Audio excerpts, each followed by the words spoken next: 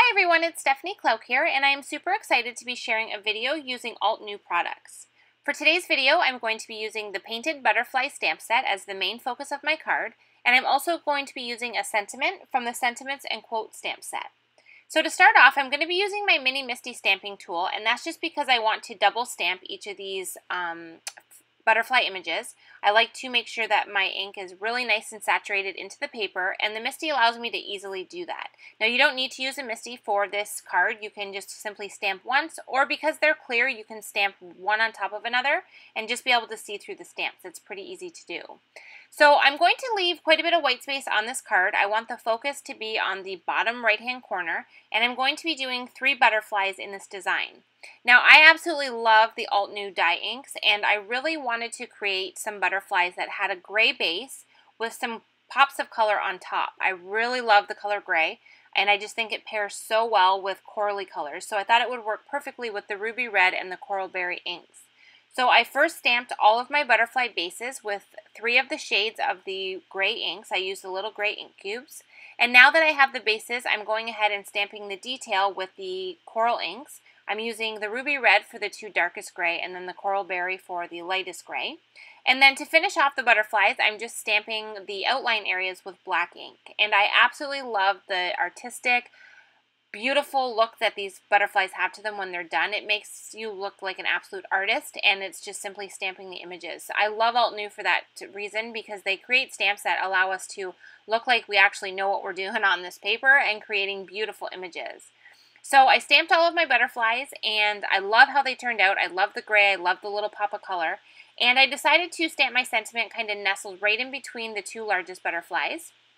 I use the You Are My Happy Place sentiment, which is one of my favorites. I just think it's a beautiful sentiment and pairs perfectly with these butterflies.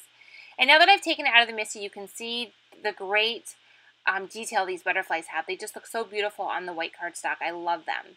So because I wanted the butterflies to be the main focus on the card, I didn't want to put, put too much embellishments or detail on the card design, but I definitely think it needed a little bit more than just the butterflies on the white. So I'm just folding a Great piece of cardstock here. This is a top folding card base. And I've trimmed down my butterfly panel just a bit so that I have some area on the right hand side. And I'm going to add a piece of striped pattern paper there. I'm going to use a black and white striped diagonal piece. This is just a piece I had in my stash. And I love having that pop of black and white on the side of a card. It's one of my favorite ways to kind of embellish a card that I want to keep semi-simple so that the focus stays on the panel. But it just adds that pop of black that blends perfectly with the outline areas of those butterflies. So I added that onto the card base and then I'm going to adhere the butterfly panel directly on top.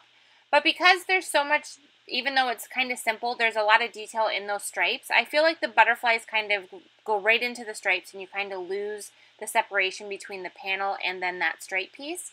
So to kind of break them up a little bit, I like to add a little strip of cardstock or glitter paper in between. So for this card here, I'm going to use silver glitter paper, and I'm just cut it down pretty thin and put some liquid glue on the back. And now I'm just kind of butting it up against that panel piece and pushing it in place so that I can adhere it down. And then I just trimmed down the excess so it fit on the card front. And then to finish the card, I just decided I wanted to add a few clear sequins because I usually do. I'm kind of addicted to them. And I always like to add silver stickles into the center area to finish off those sequins. As a finishing touch, I decided that I needed a tiny bit more sparkle on this card, so I decided to add some glitter, um, clear glitter sparkle pen just to the coral areas on the butterflies. I didn't want to add it to the gray or anywhere else. I just wanted a tiny bit of sparkle just on the red areas so that when it tilts in the light, the butterfly wings kind of shine. So I added that sparkle to all the areas, and then that is going to complete my card for today. Thank you so much to Altenew for having me as a guest designer, and thank you so much for watching today's video.